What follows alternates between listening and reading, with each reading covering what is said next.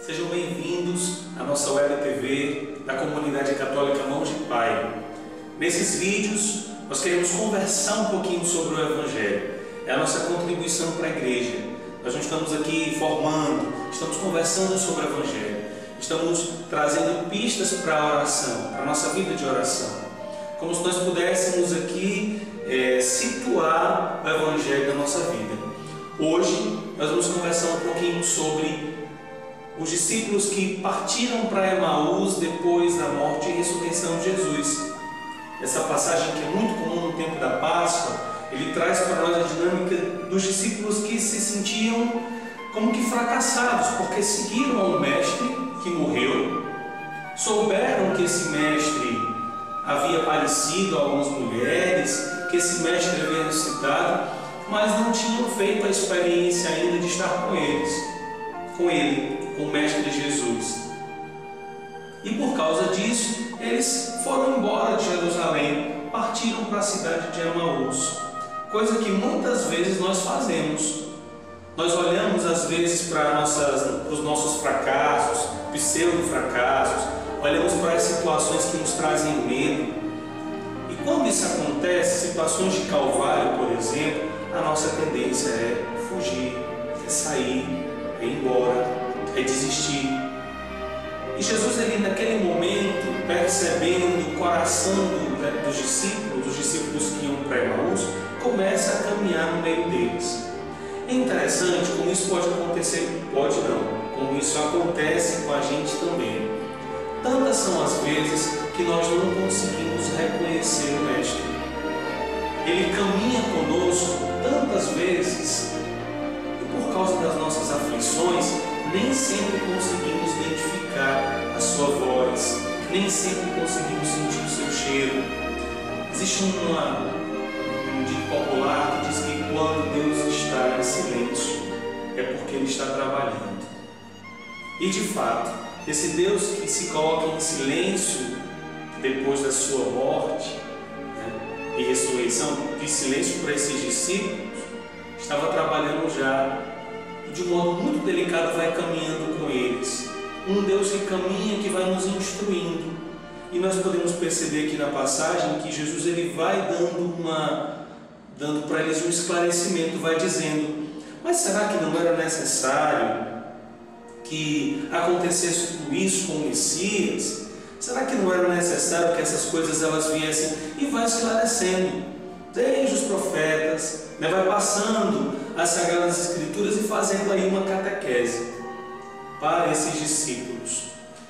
Deus não deixa de nos orientar em todos os momentos, seja numa música, seja alguém no momento, na hora certa, uma palavra certa que aparece de repente, seja aquele amigo que faz uma ligação e de repente diz algo que você gostaria de ouvir, a TV que você ligou e viu no canal, aquele toque de Deus.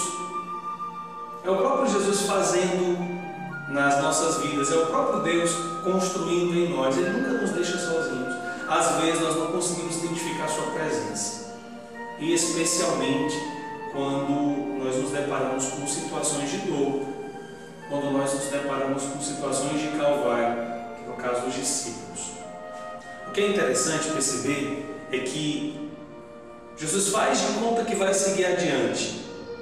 E os discípulos dizem para ele: Fica conosco, pois já é tarde e a noite vem chegando.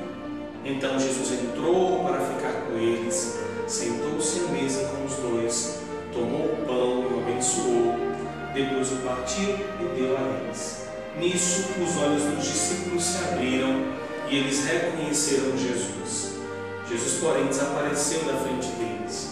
A importância da Eucaristia, reconhecermos Jesus na mesa da palavra e na mesa eucarística, reconhecer Jesus presente todos os dias, todos os dias conosco.